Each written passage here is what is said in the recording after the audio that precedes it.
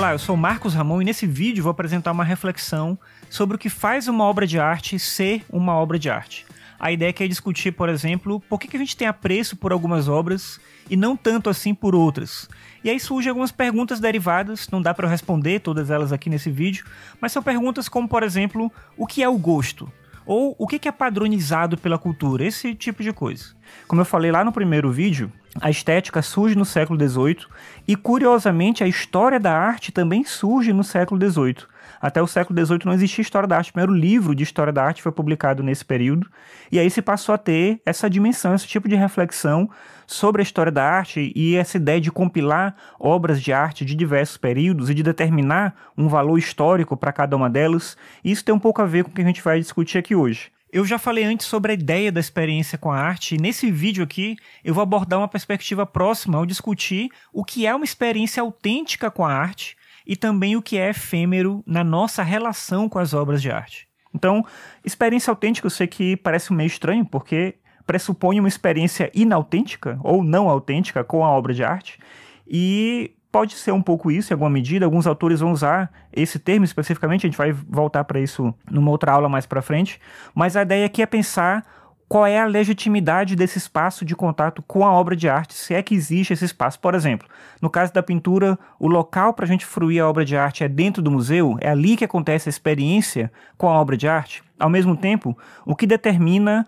o fato de uma obra de arte se tornar perene e o que, que faz com que ela seja efêmera, com que ela seja esquecida, que ela não tenha um valor né, de mercado e ao mesmo tempo um valor de crítica. O que, que faz isso acontecer? Essa discussão eu decidi trazer aqui a partir de um quadro que é a Mona Lisa, que é um quadro obviamente ultra famoso. Quando alguém pensa em obras de arte, especialmente de artes plásticas, é difícil não pensar na Mona Lisa. Mas talvez você, como muitas pessoas, já tenha se perguntado por que esse quadro é tão famoso? O que, que, fe... o que, que faz essas pessoas terem tanto interesse por ele? Obviamente, muitas pessoas vão dizer que tem a ver com o próprio quadro, mas é curioso o fato de que nem sempre foi assim.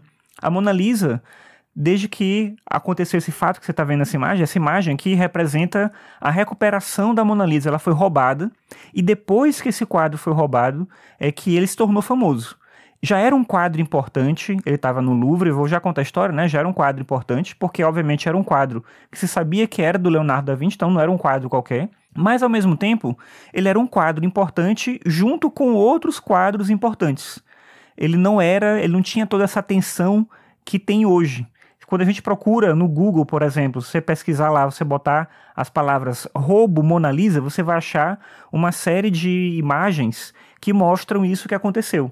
Então aqui a gente tem é, a figura, né, a pessoa que roubou a Mona Lisa, que foi esse cara bem aqui, eu já vou falar um pouco mais sobre ele.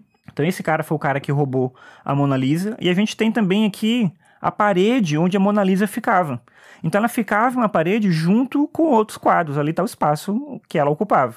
E hoje já não é mais assim. Hoje a Mona Lisa fica num lugar isolado, sozinha, aquele quadro não se mistura, digamos assim, com outros quadros, porque passou a ter uma atenção diferente, né, para esse quadro. Ele passou a chamar a atenção de uma outra forma. Então aqui tem uma série de imagens. Nessa imagem bem aqui, você já vê a situação atual, né? É um quadro que ele fica isolado, com uma proteção, as pessoas ficam distantes, né? Se acotovelando lá para tentar chegar um pouco perto que seja. Mas como eu falei, aqui tem uma série de imagens que representam esse momento do que aconteceu, né, da história em torno do roubo da Mona Lisa, né, as notícias de jornal, enfim, uma série de coisas aí que foram é, que aconteceram de, como uma decorrência desse processo. Então, o fato foi o seguinte: era uma segunda-feira, era o dia 21 de agosto de 1911, e um italiano chamado Vincenzo Perugia, que é esse aqui que você pode ver nas fotos, ele entrou no Louvre, pegou a Mona Lisa, tirou a, o quadro da parede e levou embora.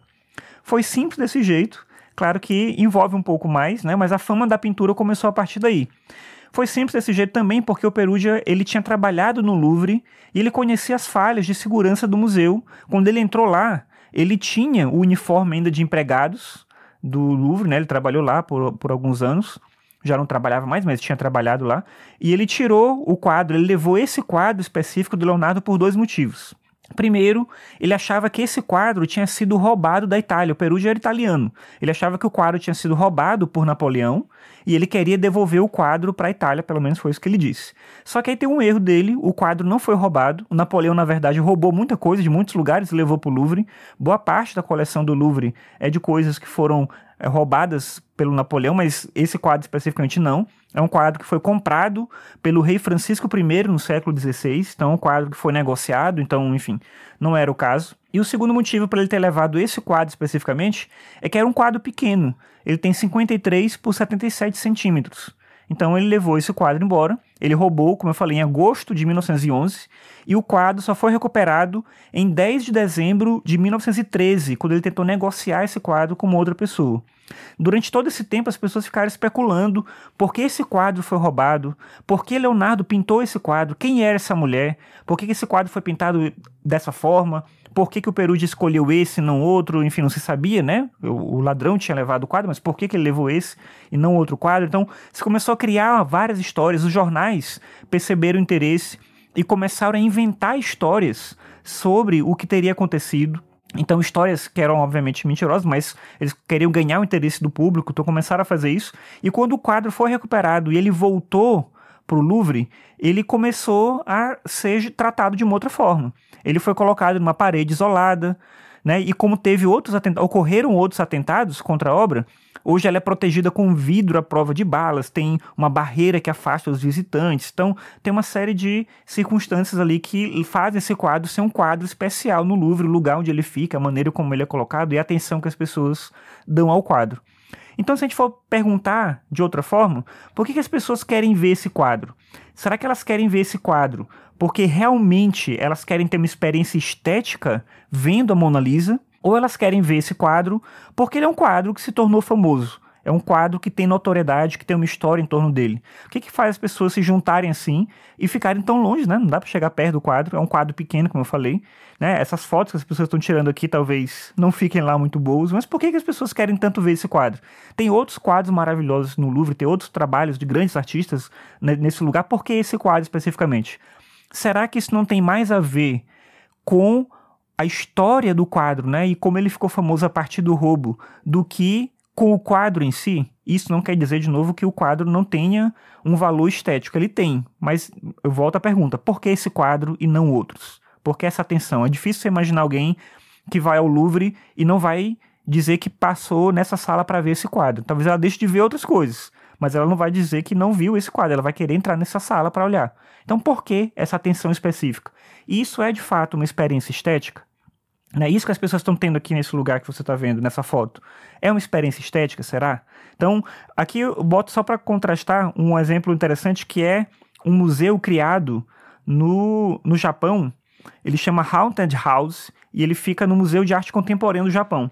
Então, o artista ele criou uma galeria em que ele pegou várias imagens de telas conhecidas e ele criou um ambiente que você pode interagir com as obras, você pode pegar nelas, né? Você vê aqui uma criança entrando num, num, quadro por um lado, ela vai sair na parede do outro lado, as pessoas podem aqui nessa reprodução da Mona Lisa, alguém está na outra parede, pode colocar as mãos e intervir com a obra. Então, você cria um ambiente que você passa a mexer, interagir, que é bem esse caráter da arte contemporânea, né? De você ficar ainda menos passivo, eu já tinha falado antes na outra aula que quando a gente contempla uma obra de arte, a gente também age de alguma forma, a gente também exerce um aspecto de criatividade, mas a arte contemporânea leva isso mais longe ainda. Ela convida a gente a chegar mais perto desse espaço de contato com a obra de arte, avançar ainda mais nessa perspectiva.